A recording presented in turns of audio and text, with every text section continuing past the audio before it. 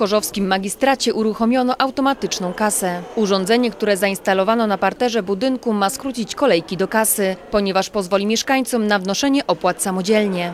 Obsługa odbywa się za pomocą ekranu dotykowego. Maszyna przyjmuje wszystkie nominały od 50 groszy do 100 zł. Wpłaty są natychmiast widoczne i dostępne dla Wydziału Księgowego Urzędu. Prezydent Chorzowa Andrzej Kotala dokonał pierwszej płatności korzystając z nowatorskiego urządzenia płatniczego. Moim zdaniem bardzo prosta obsługa jest. Skoro ja się nauczyłem, to, na, to tak naprawdę każdy się, każdy się tego nauczy.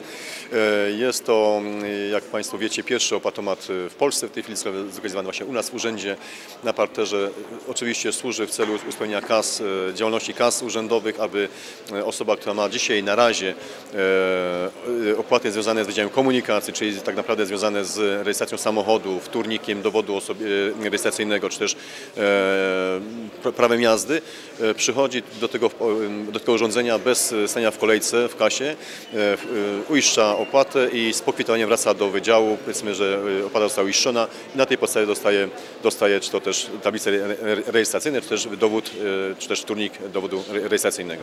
Podczas uruchomienia automatycznej kasy obecny był również Michał Bolesławski, wiceprezes ING Banku Śląskiego. Jest to urządzenie, które ma usprawnić proces dokonywania opłat ko- telekomunikacyjnych za wszelkiego typu dokumenty, które wydawane są przez urząd w Chorzowie i które ma usprawnić proces, skrócić kolejkę, y, uczynić go bardziej niezawodnym.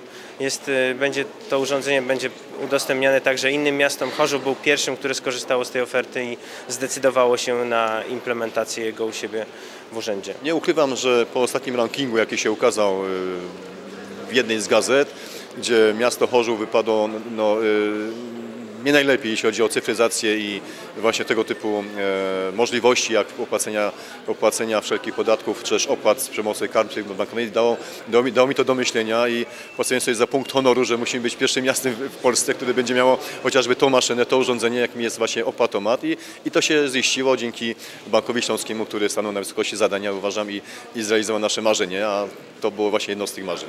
Mi się wydaje, że to powinno zdominować e, mm, ruch i właściwie wszyscy powinni z tego korzystać w miarę jak się do tego przyzwyczają. No, że wszystkimi nowymi urządzeniami jest tak, że zabiera trochę czasu zanim e, e, klienci się przezwyciężą i, i zauważą, że to jest coś, co jest efektywniejsze i będą sami woleli korzystać z tego. Tak samo było z bankowością internetową na początku. Wszyscy podchodzili z pewnym zawahaniem, niedowierzaniem. Teraz stało się to całkowicie standardowe i właściwie każdy z nas sobie nie wyobraża funkcjonowania bez bankowości internetowej. Tak samo będzie z tym urządzeniem. W Chorzowskim Urzędzie od poniedziałku można płacić również kartami płatniczymi. Cztery terminale, trzy w głównym gmachu na rynku i jeden w Urzędzie Stanu Cywilnego przy ulicy Dąbrowskiego pozwolą na bezgotówkowe wnoszenie wszystkich urzędowych opłat. Na razie wyjątkiem będą podatki.